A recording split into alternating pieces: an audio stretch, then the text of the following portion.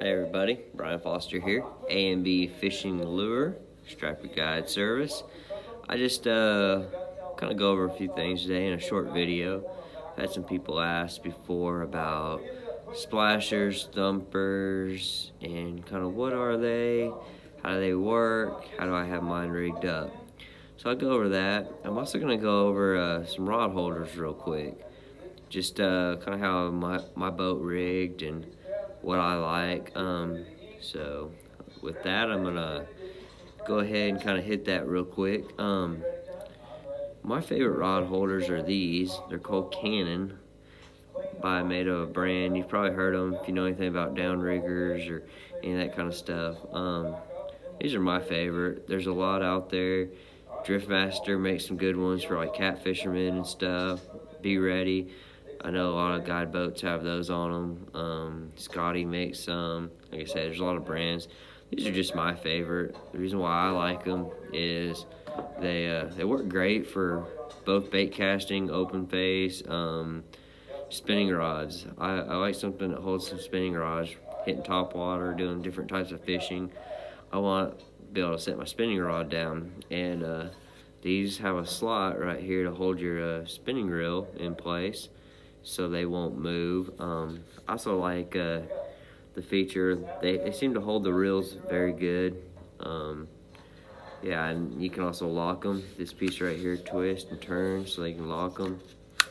These are just very solid, strong, and sturdy built holders. Um, also like, they come with this uh, extension. They lock in place. You can twist them turn any direction. You can also adjust right here.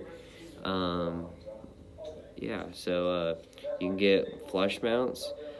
When you uh, buy them, they come with uh, bolt-on holders, but I went ahead and bought flush mounts and flush mount them, you know, my boat. You can also uh, get these extensions. So like on the very front and the back of my boat, I wanted to extend them up off the sides just a hair bit. These are about a six inch extension. Gets them off the side of the McGunnel. Um, these work really good. I like them. I can set them right there. I grab my reel, my rod real quick. Got a bite, got my pole bent over. I just grab it and go. Like I say, you can also set your spinning reel in here. Locks it. You can put your uh, put your rod and reel in these, and you're not gonna lose it. I uh, I love them. You can troll with them. Have a lot of uses. Um, so yeah, those are my favorite. They're made by Cannon. You can find them on Amazon. You can go to Cannon's website and uh, you can order them there. So I have about uh, six of them on each side. I have uh, two on my very back of my boat that I run, and then four on my very front. And I'll show you real quick. I've got one rigged up right here, actually, on the side of my boat and you can you can see it right there. Comes up you can turn around pops in place. Here's the base. Um, like I say you can move it around. Just hook it right there. Works really good. Here's the base. Um, yeah so that's gonna cover that. So I'm gonna kind of move to the next thing. Um, thumpers people ask, what's a thumper? How does a thumper work? Um, a thumper is basically just a, uh, it's almost like a battery box basically with a rubber mallet in it, runs on a motor, and it's just a constant thump. So uh, basically any sound you make transfers through the water. Um, these thumpers, what they do is they simulate bait fish, basically feeding fish. And uh, that hit of that mallet in that box is just a constant sound and it transfers through the water. And it, it's just basically a fish attractant. Um yeah stripers hybrid sand bass it's a lot of your uh, predator species. They uh they hear that sound and they think that there's bait fish in the area fish feeding so on. And it just basically makes them curious. Um, it works very good. Uh, a lot of times it'll bring in schools under your boat.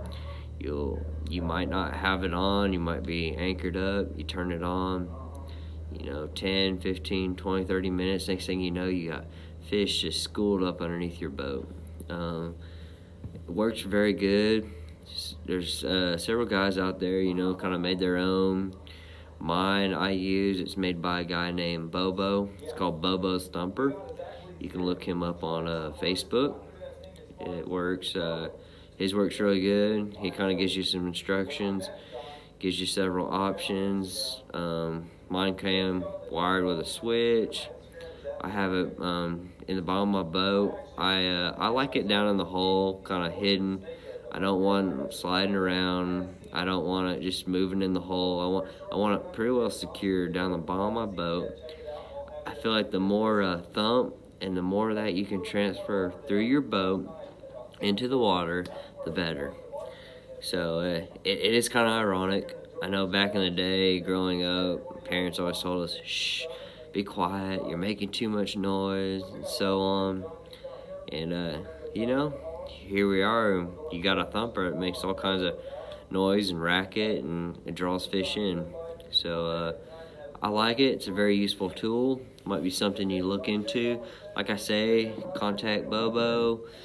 Um, I think there's maybe a few other people out there that might make them. Um, his worked well for me. So uh, I'll show you how I have mine rigged up real quick. Um, yeah, this is the back of my boat. And basically what I have on the back of my boat is I have it down in my hole underneath the seat right here. This is the back. This is like my casting deck right here. I'm gonna lift this seat up and I'm gonna show you what I have. So this is basically down the bottom of my boat. I have a Ranger center console is what I have. And uh, I can lift this back seat up and I can get down here to like my filters and all that, battery charger. But right here's my box. This is my thumper. And I got a switch right here. And I just flip that switch on and you can hear it. You can hear a constant thump. And uh, that constant thump just transfers through the whole of my boat into the water. I then, uh, whenever I'm on the water, I just turn it on, close my seat, and you can still hear it. Yeah, sometimes it, it does get a little loud. Sometimes you get tired of hearing it. You can flip it off, flip it on. Um, we got it wired directly to a fuse, and then it goes to my batteries right there in the back of my boat. Someday I plan on going ahead and wiring it to a switch on my console, just so it's easily turned on and off, especially with people in my boat. But uh, yeah, it works really well. Been using it, ooh, I've been using one for probably four or five seasons now, and it works really well. Um, this winter we've had, it's been a little bit challenging. The fish have been kind of tough this winter. Um, you might turn it on, get them under your boat. Sometimes they just dissipate, they disappear. You have to turn it off and they come right back. But yeah, it works. I definitely recommend it. So I'm gonna go ahead and uh, turn it off. I'll show you right here. Flip that switch and it's off. But uh, that constant thump, it works. It's kind of a weird technique. Um, I think basically somebody one day was hitting the bottom of their boat with a rod handle and uh, the thump and they noticed, man, I got fish under my boat. So uh, yeah, that uh, works. And uh, I'm gonna go ahead and I'm gonna move over to my splasher prop, my trolling motor. I'm gonna kind of explain what that is next. I'm gonna kind of go over how that works. So on the back of my boat here, I have a, basically a piece of, I'll close this compartment, but real quick. I have a, basically a piece of angle iron. I have aluminum right there and I got it bolted on. I've got basically just a cheap Minn Kota Riptide trolling motor. And what this trolling motor does is I turn it on and I have my prop about halfway to three quarters of the way in the water and I'll flip it to the reverse setting, number one. I don't want it turning a whole lot, but I want it just enough that it makes a splash. That splash attracts fish. Believe it or not, it does. What it does is it uh, brings fish in that they they they're kind of curious. So they uh, see that splash, they think that bait fish are working the top of the water. Uh, maybe uh, other fish, other predator fish, say striper, hybrid, you know, sand bass, and so on. They think that they're chasing fish to surface, other bait fish. So uh, yeah, we uh, several guys, about every guy on the lake runs a splasher prop. Very useful tool. anything else, that's probably your number one necessity if you want to get fish under you. I highly recommend it. But I just have mine um, wired right here. I'll show you how I got I got it wired right here. Goes directly to the back of my boat and goes underneath my boat to my batteries. Of course, I have it on a fuse. I have it set up like that. I'm gonna go ahead and step down real quick because I'm gonna show you my prop and how I have my prop set up. Okay.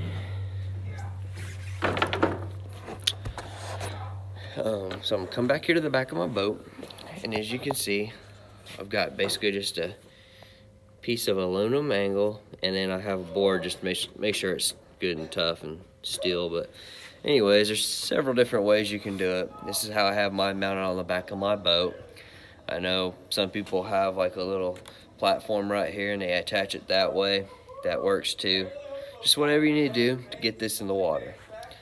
So normally I'll run it down here. This is my water line generally on my boat. I'm gonna drop it down just a little bit. I want, like I said, half to three quarters of the way in the water. That way when the prop is going, and like I said, I'll run mine in reverse, that it's getting in the water and it's making a thump, just like the thumper.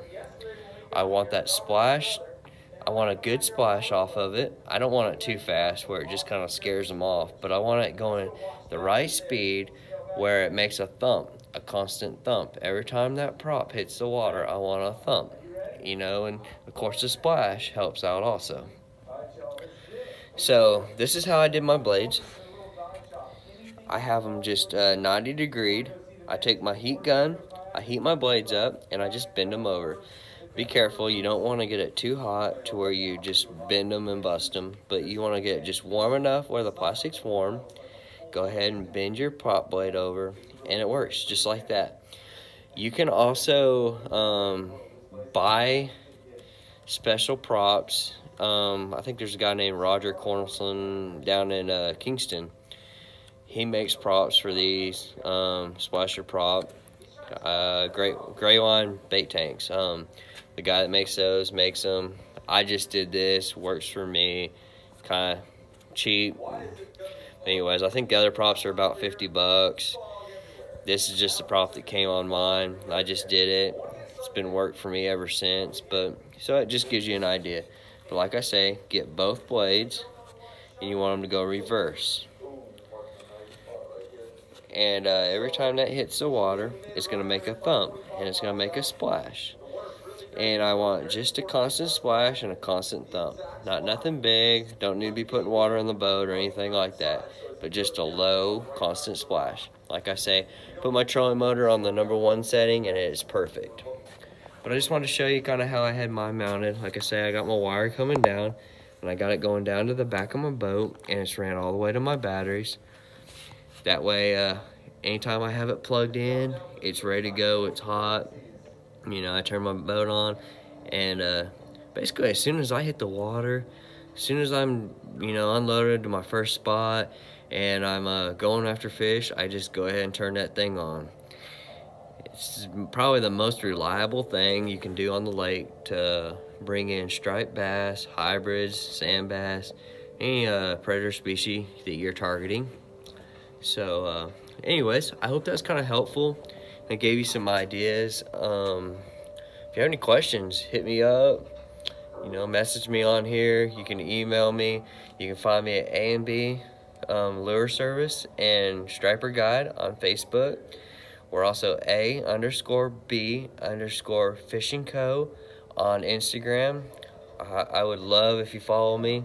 Go ahead and hit like, subscribe. Um, so with that, I hope you uh, have a great day. Thank you.